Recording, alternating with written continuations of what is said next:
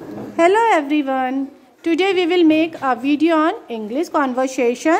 They are students of class 3rd. They are going to interact with each other in English on where did they live, in which school they study. So there is Abhishek and Diya. Namaste